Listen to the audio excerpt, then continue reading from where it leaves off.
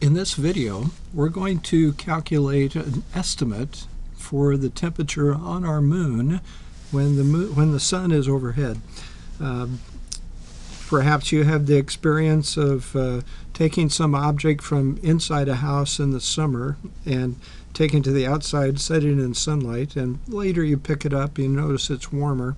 Uh, this is a more complicated situation on Earth than on the moon because we have various uh, mechanisms where energy can be delivered to that object, uh, not just sunlight. But this is uh, worth calculating on the moon. How how hot does it get on the moon? So our mechanism here will be to make use of uh, this relationship for black bodies that the power emitted by a black body is equal to Stefan's constant times area times temperature to the fourth power. And consider the um, solar constant, the amount of uh, power available in sunlight per square meter at the distance of the Earth. and on the moon, if I would draw this just a little bit here, there's some Maria, and we have sunlight coming in, and we're just going to consider one square meter that's directly underneath the sun. The sun is overhead. Um, and consider that energy is going to come in to this area and also energy is going to be radiated out from this area. We're going to treat the surface of the moon as a black body and we're going to consider how much energy is absorbed and balance that with the energy being emitted. If there was more energy being absorbed than emitted, the square meter would be receiving more energy than it's giving off, and its temperature would go up. Well, eventually, we reach the temperature where the uh, one square meter emits energy per second, matching the absorbed energy per second. So the sunlight that comes in, the moon is not going to receive 1368 watts per square meter because some of the sunlight bounces off of the moon, it reflects. And uh, the source at NASA says that about 11% of the incoming light does not get absorbed. It's, uh, it's bouncing off. So I want to do energy absorbed equal energy emitted in per second if you wish and make it power but um, it's fine to think about energy energy being absorbed energy being emitted. So in terms of if let's say we do this for one second of time then this uh, watts is a joule per second. So if we do this just for one second then we'll have joules per square meter but what gets absorbed well we have available 1368 in terms of the watts per square meter. And you can use joules here if you wish. But not all of that gets absorbed. There's 11% that gets reflected. So this is our calculation for how much energy gets absorbed. It's the part that's not reflected. And the energy that's emitted uh, per second, if you want to change watts to uh, the um, the joules. Just consider this for one second. So we have 5.67.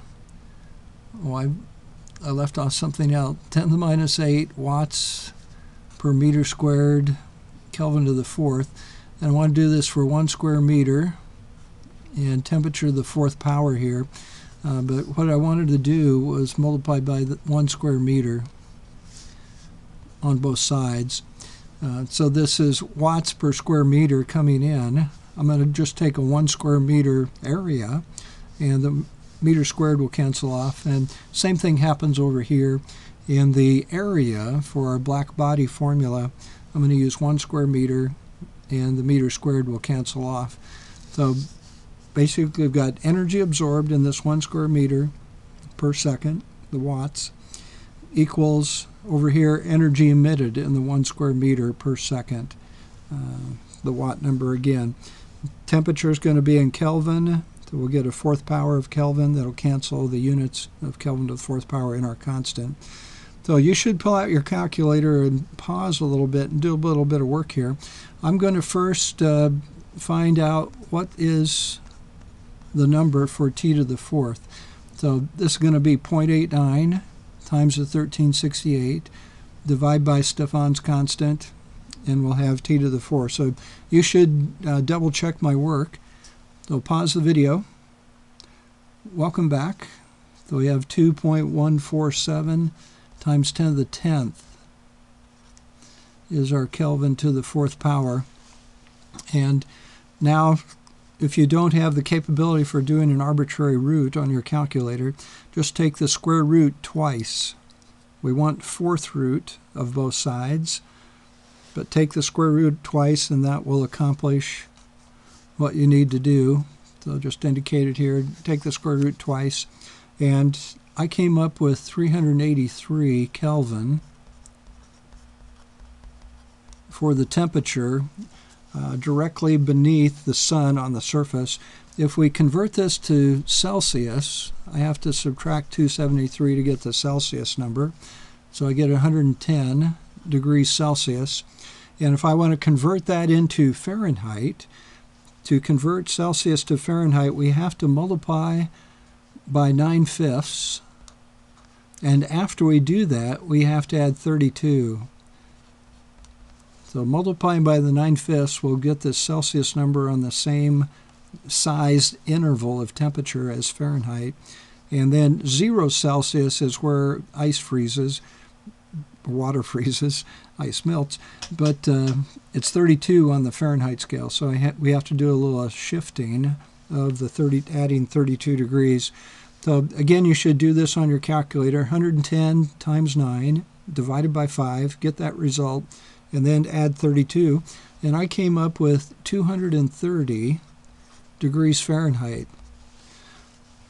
Hot enough to boil what substance? To boil water. As water is 212 degrees Fahrenheit. Um, and you should have realized that back here if I would have asked it back here. But uh, water boils at 100 degrees Celsius. So there's our temperature uh, this is an estimate. There could be some other factors going on if our container uh, doesn't uh, absorb uh, that we're trying to boil water in. If our container doesn't uh, reflect exactly 11%, then this changes. Uh, depends if the moon is a little closer than the Earth. You know, is it the phase of new moon or is it the phase of full moon? All the time doing the place on the moon where the sun is directly overhead.